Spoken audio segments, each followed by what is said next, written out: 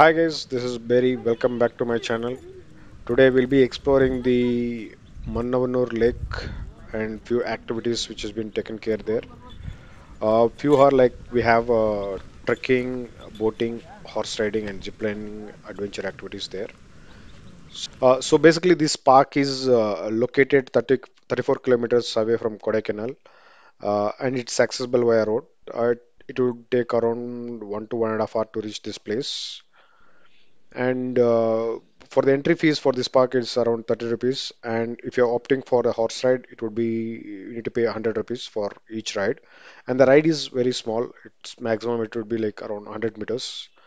So if you want to experience the horse ride, uh, you can just opt for it and uh, enjoy the ride.